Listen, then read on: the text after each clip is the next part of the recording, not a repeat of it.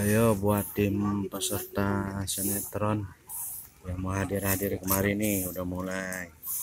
Ayo yang mau lihat situasi lokasi syuting, yang mau lihat kemarin ayo di Danau Serengseng ya, hutan Danau Serengseng.